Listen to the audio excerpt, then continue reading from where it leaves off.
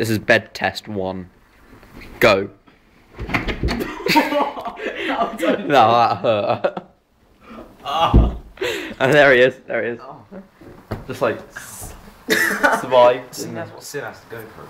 every night. Feel sorry for me, We do feel sorry for you, Sid. we feel very sorry for you. but it's a damn comfy bed, so I'm not swapping. Mm, yeah, these beds are quite comfy, aren't they? They are.